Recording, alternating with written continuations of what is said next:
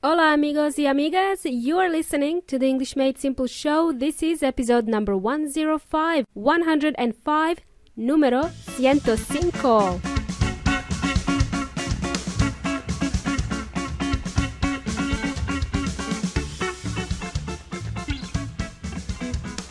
Welcome, welcome, ladies and gentlemen, guys and girls. Welcome to the English Made Simple show with your host Milena from EnglishMadeSimple.net. And uh, how do you do? How's the weather? How's the weather over there where you are? We just had the loveliest weather here in Melbourne. It was just perfect, sunny with clear blue sky. It was just splendid, wonderful. Enough, enough of the small talk, Milena. Let's get down to business. OMG, we need to start the show ASAP as soon as possible.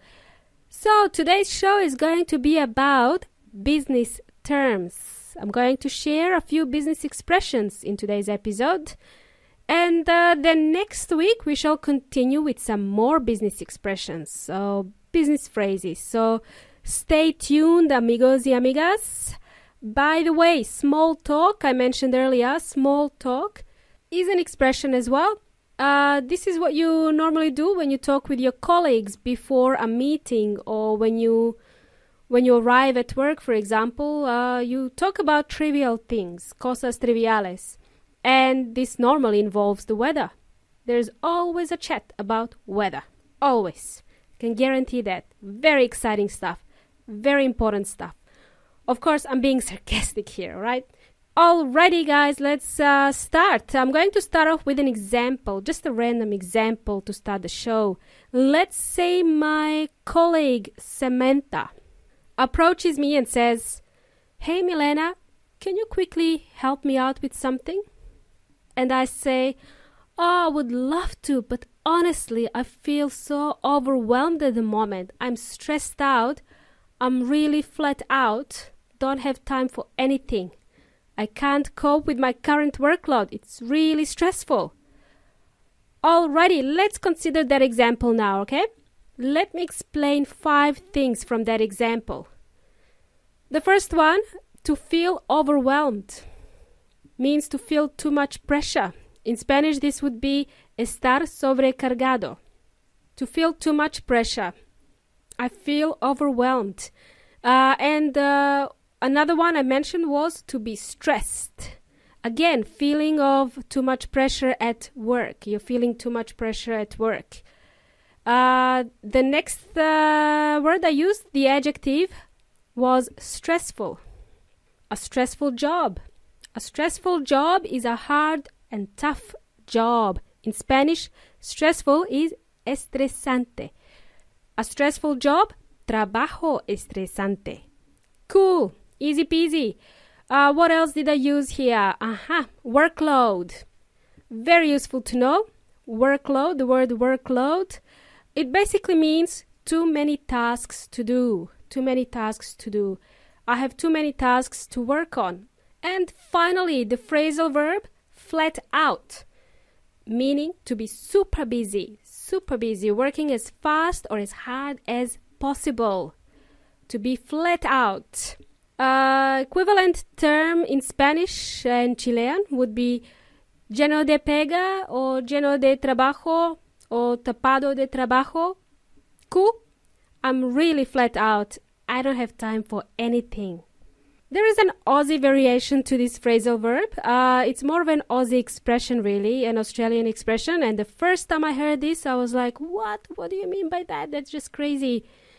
And it's fine not to get it the first time because this expression is really unique to Australia. Also, if an Australian person uses this expression in the UK or the US, no one would understand them. But uh, here's the expression anyway, you can use it for fun, okay? It goes like this I am flat out like a lizard drinking. I am flat out like a lizard drinking. If you happen to live and work in Australia, you would hear people around you say, I am flat out like a lizard drinking, meaning they're extremely busy. It must be an Australian saying because it involves animals, it involves the lizards, you know, the animals that look like chameleons, just bigger and uglier, okay, lizards. In Spanish, lizard, the word lizard is lagartija, like a Komodo dragon. Lizards belong to a family of reptiles, you know, like snakes, they belong to family of reptiles as well. And here we go, I just got distracted again. This is not a biology class. Let's learn the next expression. To throw in the towel. To throw in the towel. According to Vean Inteligente or the online dictionary, to throw in the towel means to quit something out of frustration. To quit, basically. Tirar o arrojar la toalla in Spanish. For example, I started to learn Japanese, but I found it too hard and I threw in the towel. Basically, I stopped learning it because it was too hard. I threw in the towel. This is in the past tense, okay?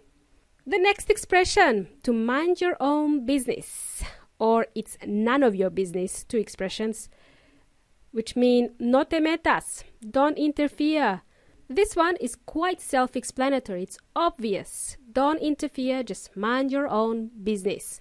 Moving right along, to go the extra mile or to go above and beyond. Again, two expressions here to go the extra mile and to go above and beyond.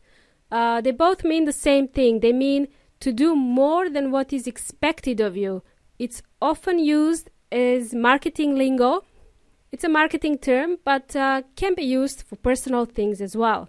For example, we go the extra mile for our customers. We will be super accommodating. We will treat our customers extra nice. Another example I can give you in each of my episodes, I go above and beyond to deliver the most valuable content to you because I want you to learn something new in every episode. I go above and beyond. I put in the extra effort in each of my episodes. That's why I can never keep my short and sweet episodes short. I always go over the five minutes because I'm a chatterbox. I can't stop talking. The five minutes was the limit I set for myself, actually. It's not written in stone. Written in stone. Another phrase for you, amigos y amigas. It's a figure of speech. When something is written in stone, it means it is a permanent rule. It can't be changed. But I said it's not written in stone, meaning it's not a permanent rule. Cool? Are you following me so far? Shall we continue to the next phrase? We have two more left before we wrap up, before we conclude. The next phrase word of mouth. Word of mouth. The English uh, Made Simple show is growing exponentially, and this is all thanks to word of mouth. Meaning, people talk to their friends and they share their favorite episodes with their friends. And so, effectively, they're spreading the message about English Made Simple, which is awesome. That's really cool. Thanks, guys. Word of mouth is also a marketing term. Um, and typically, for any business out there, word of mouth marketing is the best form of marketing. Cool. And this brings us to the end of today's show. How about we touch base next week, okay? To touch base is another useful expression, extremely useful expression, and it means to get in touch, to make contact. This one is really good to know, amigos. Uh, use it when writing emails or when you're at business meetings to touch base. So, amigos y amigas, let's touch base next week. Until then, it's been a pleasure as always, and I'm looking forward to the next week. You've been jamming with Milena from English Made Simple. Until next time, muchachos y muchachas, hasta la próxima.